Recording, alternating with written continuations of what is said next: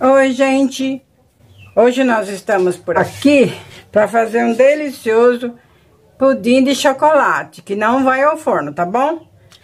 Então vamos aos ingredientes, eu vou falando e vou pondo aqui, tá bom? Uma lata de leite condensado, meu marido vai deixar na descrição do vídeo, mas a gente tem o costume de falar, então já viu, né? É. É muito fácil esse pudim, a gente já fez de vários sabores e de chocolate não, aí a gente é, vai fazer hoje. Que tem duas caixinhas de creme de leite. É uma sobremesa rápida que você pode fazer no domingo e comer no domingo também. É, verdade.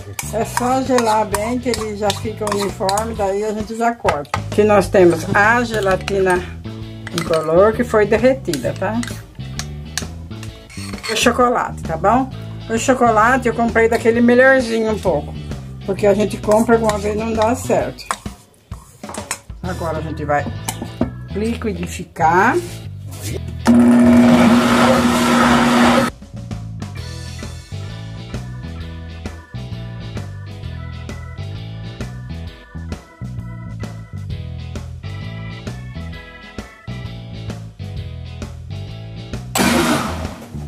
Então, é rápido, não é difícil, não fica tão caro.